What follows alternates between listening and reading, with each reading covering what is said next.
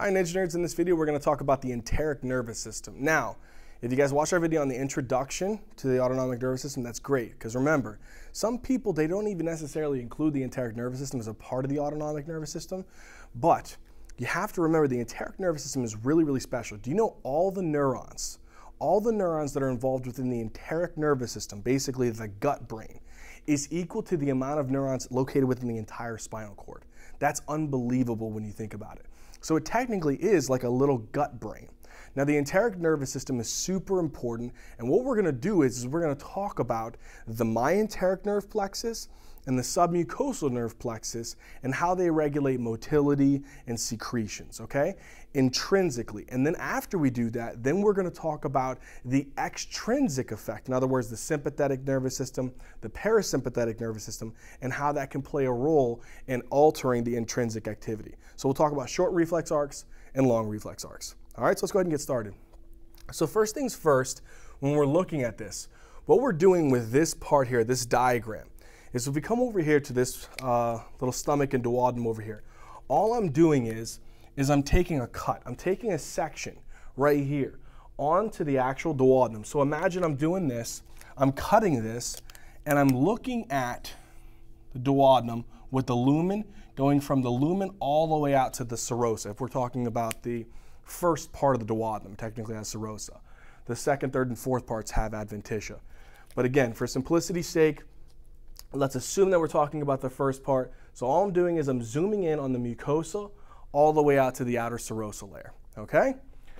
So that's what you see here. So now let's get a good idea of the histology. We're not gonna talk about this in great detail. We're gonna keep it rather simplistic. But again, first layer here. There's four basic layers of the alimentary canal. So first one is your mucosa, okay? Now technically the mucosa is actually made up of three layers. Okay, so what are those three layers? Technically, it's made up of a epithelial tissue. Okay, so an epithelium. Another one is called a lamina propria, which is basically areolar connective tissue. And the last one is called a muscularis mucosa. Now, the epithelium is different from organ to organ. For example, just simplicity wise, the esophagus is stratified squamous epithelial tissue. But the stomach, the duodenum, and pretty much all the intestines are going to be simple columnar. If we take, for example, the trachea, the epithelial tissue there will be pseudostratified ciliated columnar epithelial tissue. It depends from organ to organ. But in general, these are the three parts of mucosa epithelium, lamina propria, muscularis mucosa. Then, after that, you have a big space here, okay? This whole space here. So let's assume that the mucosa ends right here, um, starts right here, right? So the end part of the mucosa is right here. It goes all the way up to this muscle layer here. So from here to here. That's the next one. This layer here is going to be a specific component. We call this the submucosa. The submucosa is actually kind of a mixture of areolar connective tissue and a little bit of dense connective tissue. But in the submucosa, you have lots of glands in this area, and you have this nerve plexus, this really, really important, important nerve plexus. They call this bad boy the submucosal plexus. So simple, right? So simple one. Another name for it, if you don't want to remember the submucosal plexus, there is another name. They call this the Meissner's plexus. Okay, so you have the Meissner's plexus. So you have the submucosal plexus and the Meissner's plexus. Now, that's the submucosa. Again, it's some areolar connective tissue, and it's also going to be some dense fibrous connective tissue. And what else will you have out here? You could have some glands. So there could be certain types of glands in this area right here. And they can have different types of functions. All right, next thing. If we got to the next part here, so we have mucosa, submucosa. Then we have these two parts out here. So if you look here, from this circular structure here, all the way down here to this kind of like a longitudinal structure here, from here to here. This part here is called the muscularis externa. And generally, for most organs, it has an inner circular layer And over here it has a outer longitudinal layer. Okay, now there is an exception, the stomach. The stomach actually does have a inner oblique, middle circular, and an outer longitudinal. But for the sake of its simplicity, we're gonna just keep it to inner and outer. Okay, but do remember that the stomach does have a third one, inner oblique, middle circular, outer longitudinal. Okay, so this is the inner circular layer. This is the outer longitudinal layer. But these two together make up the muscularis externa. Now, in the muscularis externa, there is a nerve plexus of ascending and descending fibers. This structure here is called the myenteric plexus. Another name for this plexus is called the Auerbach plexus. Okay, just so that you, if you hear them in different types, right? So you have two different types of plexes here. One is the submucosal plexus, located within the submucosa, also called the Meissner's plexus. And you have the myenteric plexus. And the myenteric plexus is also called the Auerbach plexus, and it's located within the muscularis externa, but specifically in between the inner circular and the outer longitudinal. And it consists of ascending and descending fibers. Okay last part here for the uh, histology, right, is going to be this outer layer here, which is called serosa. The serosa is basically mesothelium, which is simple squamous epithelial tissue with a little bit of areolar connective tissue mixed in. But you have to remember, if you haven't watched our embryology videos on the GI tract, go watch those. Because if something has serosa, it's intraperitoneal, meaning that it has a mesentery. If it doesn't have serosa, it's retroperitoneal, meaning that it could be either primary or secondary retroperitoneal. But they don't have serosa, they don't have a mesentery, so they're anchored to the posterior abdominal wall by what's called adventitia. So remember that. For this case, I'm saying that it's serosa, but depending upon the organ, it could be adventitia. All right?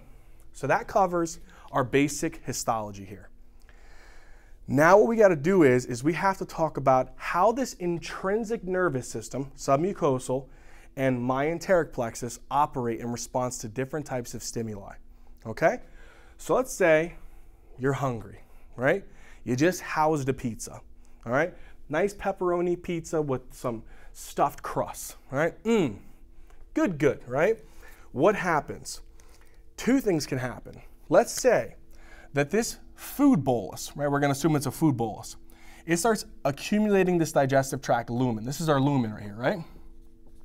And let's just, for simplicity's sake, let's say this is the oral side, and this is the ab-oral side. Also, if you want it for simplicity's sake, the anal side, right? So the doodle hole side, the mouth side. Simple as that.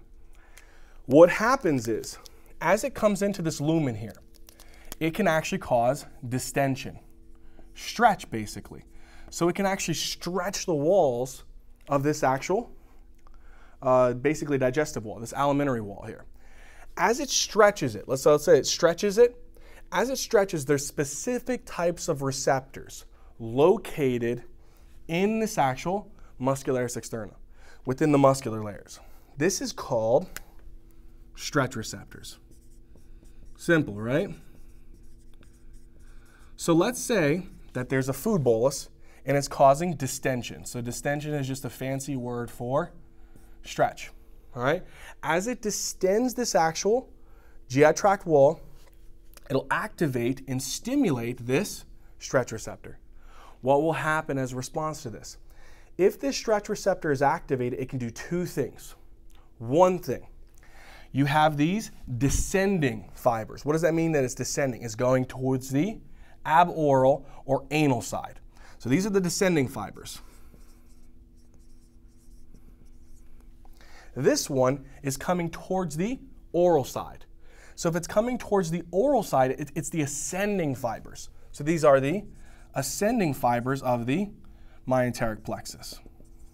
Now, here's what's very, very tricky for some people. The circular layer, when it contracts, it acts like a sphincter, basically.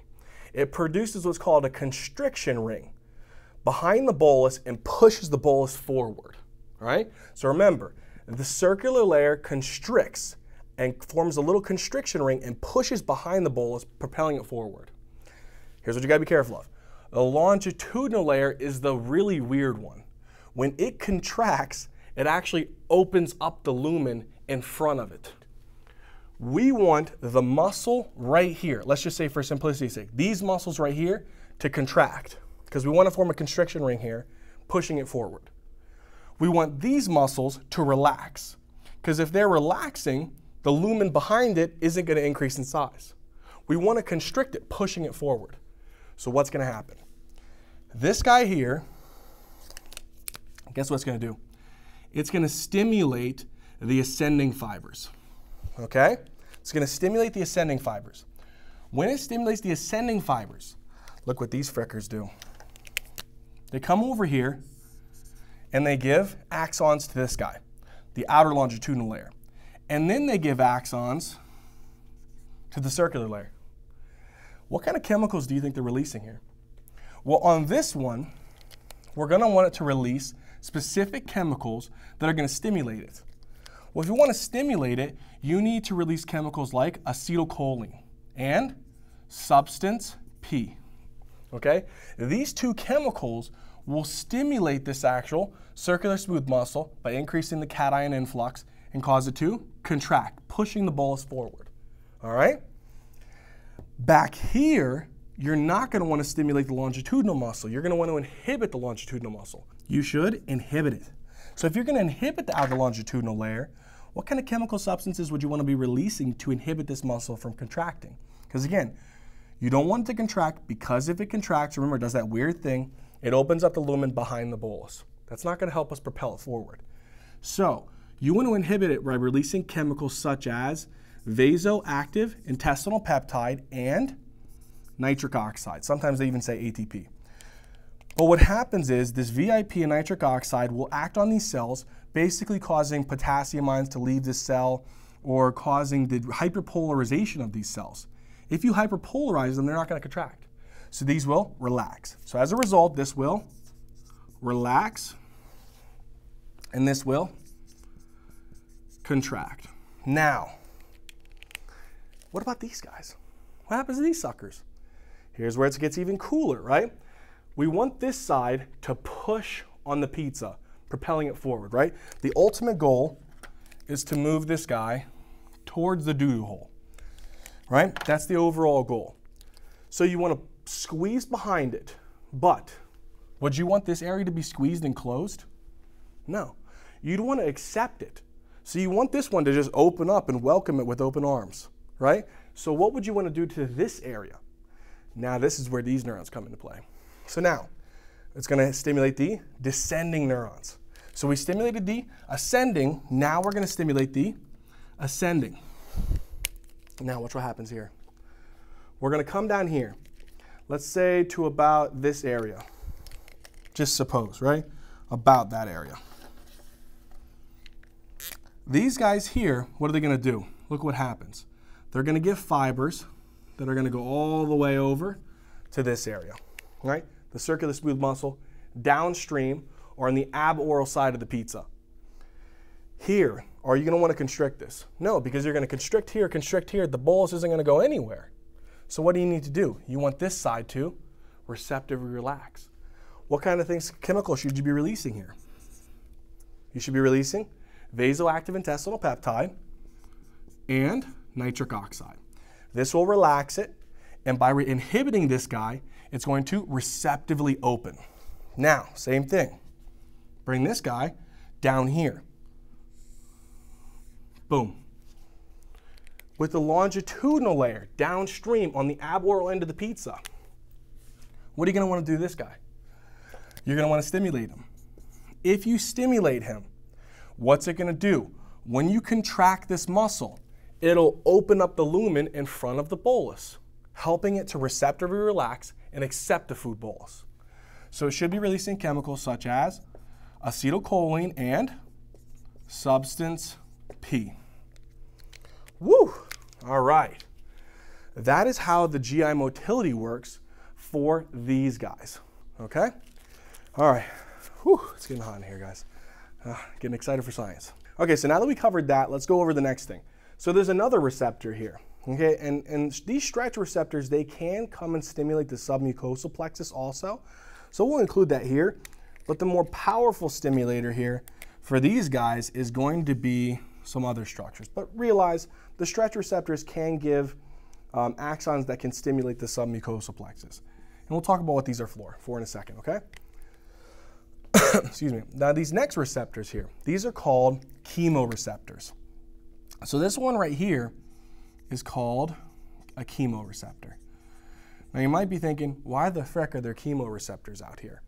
It depends upon certain chemicals. So let's say, for example, let's say that you eat this food and this food gives off lots of fatty acids, okay? So it has lots of fatty acids in it. Or it has lots of glucose in it. Or it has lots of acidic residue. Maybe you downed a Dr. Pepper right after that and you get a lot of uh, acidic residues out of that. Maybe there's other things in there too. Maybe there's partially digested peptides. Okay, so there, be, there could be a whole bunch of different things here. But what is the whole purpose of this? Certain chemical substances can activate these chemoreceptors. And as a result, when you stimulate these chemoreceptors, guess what you could do? These chemoreceptors can actually give connections over here to these submucosal plexus neurons here. If it stimulates, let's say that it stimulates this submucosal plexus here, right? So let's say that for whatever reason we respond to fatty acids. If we respond to this fatty chyme, as we're going to call it, which is basically the food paste, it's going to stimulate the submucosal plexus. Guess what this sucker could do? It could release certain chemicals that come over here and maybe stimulate some certain types of glands. Let's say that it stimulates this gland here. And these glands have little ducts, right? They have little ducts or tubes basically that carry whatever type of secretion it is towards the actual lumen. So let's say that it stimulates this duct and it actually increases the secretion of maybe some type of uh, bicarbonate rich um, secretion okay? Because let's say that whenever the substances is coming from the stomach into the duodenum, you want to have a lot of bicarbonate-rich secretions to neutralize the acidic substances. That's one situation. Another thing that you're going to want to have here, you know there's a lot of blood vessels in the vicinity here. So there's a lot of blood vessels. So let's say I put a blood vessel right here. Okay, so here's a blood vessel. And these blood vessels are important too because they can help with the absorption process. So let's say that I release certain chemicals that act on these blood vessels. I act on these blood vessels here, and as I act on these blood vessels, I cause the blood vessels to dilate. So now as the blood vessels start dilating, I got a lot more blood flow coming into this area. So now what's the overall result? If I stimulate this, I can dilate vessels. And if I'm dilating these vessels, I can increase the blood flow. By increasing the blood flow through this area, I can increase the absorption of certain substances that are trying to cross from here into the actual uh, circulation. Okay? So remember, two important things here. When the chemoreceptors are stimulated, they can activate the submucosal plexi, which can cause them to release substances to stimulate certain types of glands. If these glands are stimulated, guess what they can do? They can release certain types of secretions. Maybe they might be rich in bicarbonate.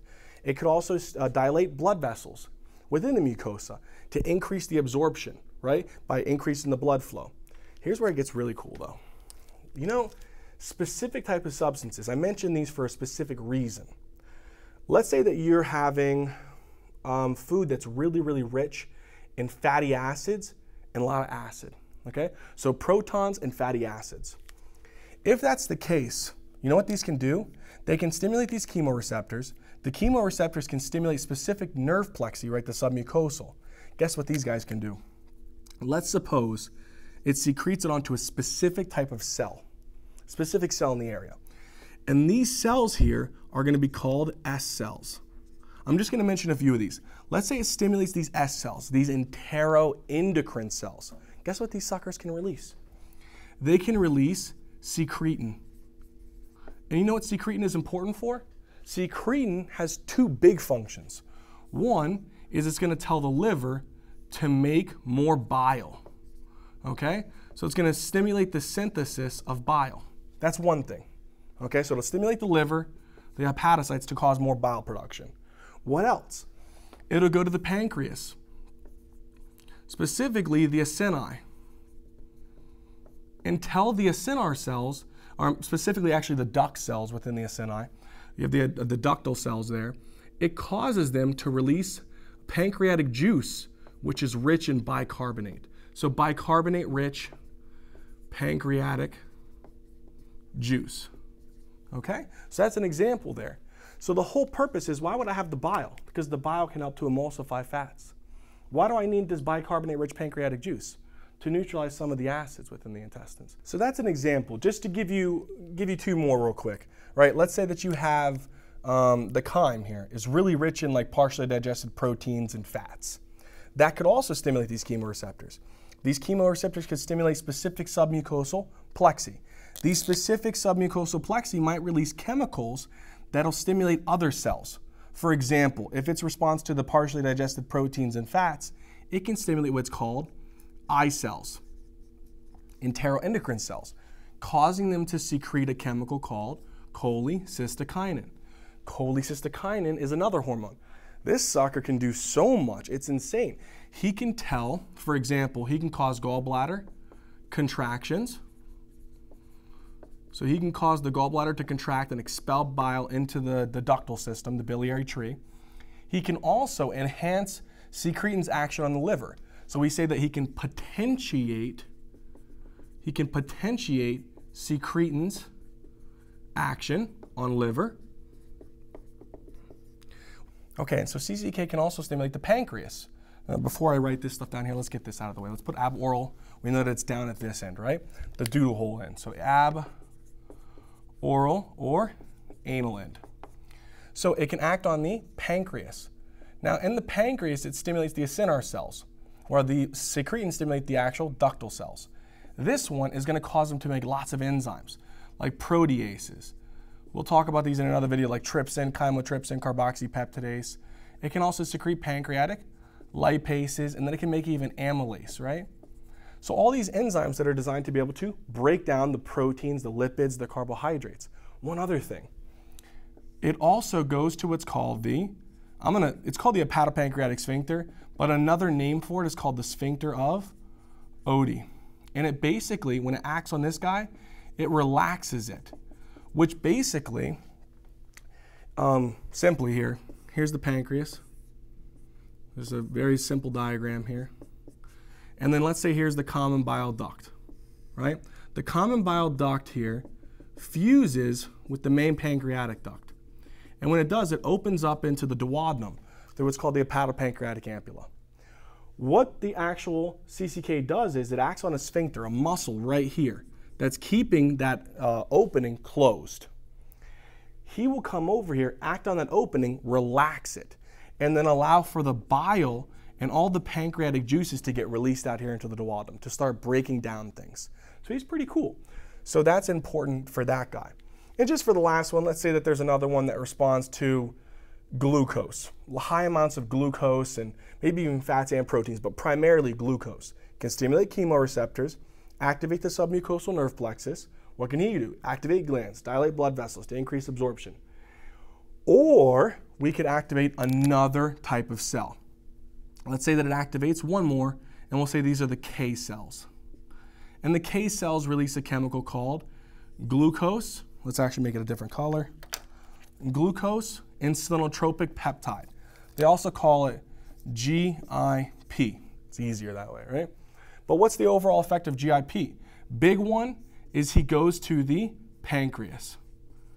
And since his primary stimulus is glucose uh, in the actual chyme, he'll tell the pancreas to make insulin. And insulin will actually help to get the glucose from the blood and put it into our cells. So that should make sense, right? And he can also inhibit gastric motility. A lot of these guys, secretin, CCK, GIP, another one called VIP, they all basically inhibit gastric emptying. They're involved in what's called the enterogastric reflex. We'll talk about that in the GI. Okay, but the basic thing is that I want you guys to get out of the intrinsic system is it can work autonomously. How? It can respond to stretch. It can respond to chemical sensations. Out of that, what's the overall effect? If there's a chemical sensation, it can cause glandular secretions. It can dilate the blood vessels to increase dilate the blood vessels to increase absorption. It can stimulate certain types of enteroendocrine cells like S cells, I cells, K cells, which can have all these plethora of effects, right? Or if there's chemoreceptor activation or stretch receptor activation, what can it do? The stretch receptors can activate the myenteric plexus to do what? To enhance the gastric motility. How? Cause the circular layer on the oral side to contract, producing a constriction ring. Relax the longitudinal layer on the oral side so that the lumen doesn't open. Do what to the circular layer on the aboral side? Relax it so that it doesn't have a constriction ring and it opens up and accepts it. Contract the longitudinal layer on the aboral side so that it opens up the lumen to receptively accept it. So beautiful things that our enteric nervous system can do autonomously on its own. Now, how can the actual sympathetic and the parasympathetic nervous system modulate this activity? Okay, so now that we understand that, the intrinsic plexus, again, we have to talk about how the extrinsic, the sympathetic and the parasympathetic, can modulate this activity. Okay, so when we talk here, let's talk sympathetic first. And honestly, to keep it as simple as possible, remember that anything with the GI tract, the sympathetic is going to try to inhibit it. So any motility, any secretions, any blood flow, any absorption, it's going to oppose that. Simple as that. But if you remember, we're just taking parts of it. But the sympathetic nervous system, right, came from, let's just say here, T5 all the way down to L2. And if you want to be picky, some books say L3, right? And this was called the thoracolumbar outflow. But to even be more simple than that, again, I just want you guys to get the overall big picture of this thing. The sympathetic nervous system, what is it going to do here? Take anything that it would, you think here, motility, for example. Motility, what is it going to do? Decrease it. Secretions, what is it going to do? Decrease it. Absorption, what is it going to do? Decrease it. Okay? So the basic things here motility, secretions, absorption. And like if you even want to put it here, blood flow, right? The splanchnic circulation, we talked about that before. It's going to decrease that blood flow by constricting the blood vessels to that area. Okay? So now, how this happens is, you remember, we're not going to mention all the ganglion. We've already done a video on this. But it can go to prevertebral ganglion. And these prevertebral ganglia could be like celiac or superior mesenteric or inferior mesenteric, superior hypogastric, inferior hypogastric, all these different types and they can get different types of splanchnic nerves. These guys are going to go where?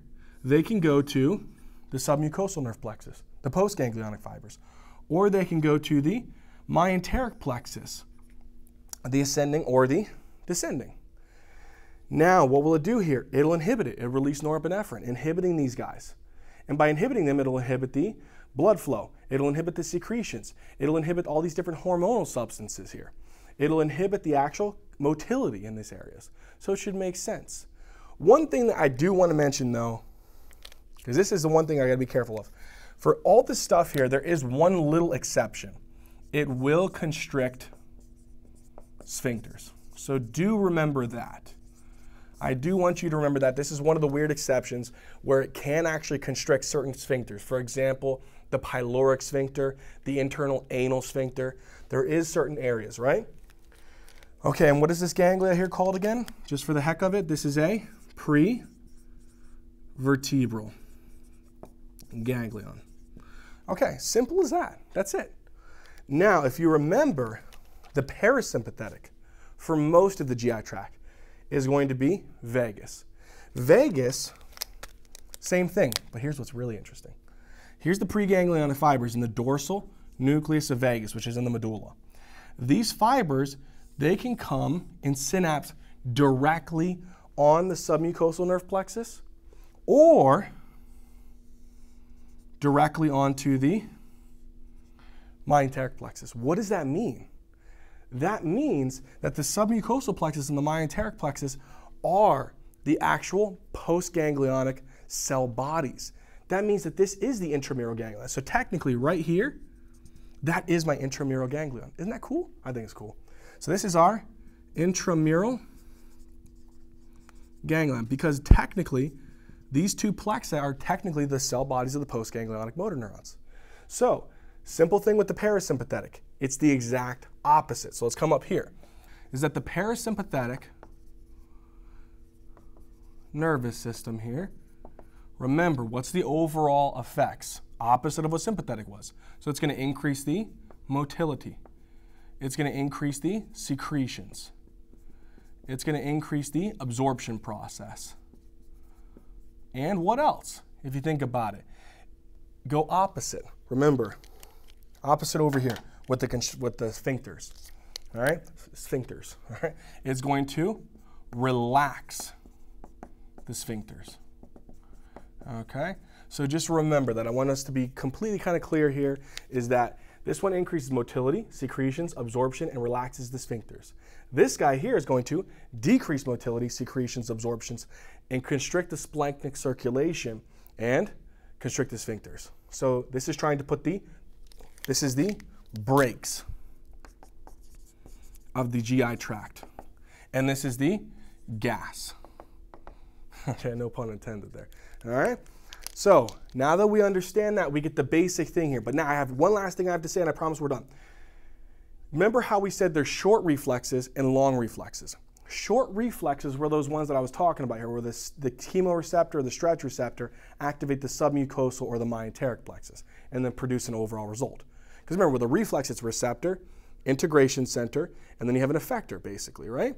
So you have like an afferent pathway, integration center, efferent pathway. That's the overall effect. So the receptor is the chemo or the stretch. The integration center is the myenteric or the submucosal plexus. And the effect is basically dilating, secretions, motility, all that stuff. But now we have to have a long reflex. So let's say here that I have some type of chemoreceptor or stretch receptor, whatever, doesn't matter. I just want you to get the point here that this receptor here can have an afferent fibers here that it can come all the way directly to the vagus nerve, the nucleus there. You know what these fibers are? This is actually the vagus nerve. These are the GVA fibers of the vagus nerve. Because remember, the vagus nerve has afferent and efferent fibers. 70% of it, remember. It can come here, either stimulate or maybe inhibit the dorsal nucleus of vagus. But if it does that, it can come out and stimulate these submucosal or myenteric plexus. When it does this, afferent vagal, efferent vagal, you know what they call that?